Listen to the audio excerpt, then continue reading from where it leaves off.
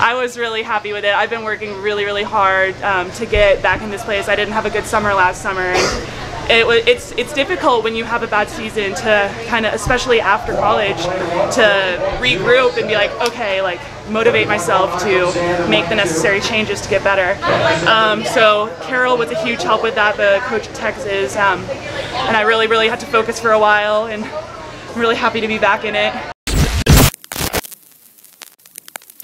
Absolutely. Um, and I mean, I think that's kind of a theme that you see across the board.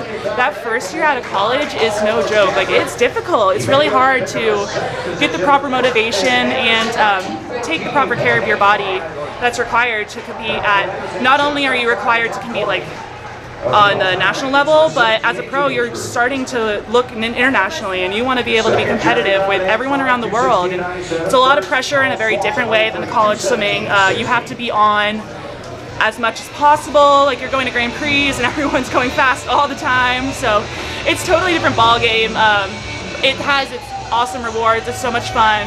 The community is really close because there's not many of us doing this past college. So you become really good friends with people, even more so than before. And I, I love it, but it's hard. And I think that first year is, if you can get through that first year, you're good. But that first year's hard.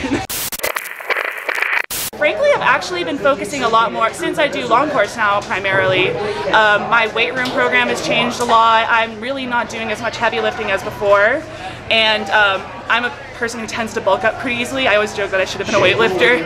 Um, oh well. But um, so I've been working a lot more on like running and cardio aspect stuff and um, body weight and really, really, really focusing on breaststroke in the pool. And frankly, the best thing to train for swimming is by, or the best thing to go swim fast is to train swimming fast.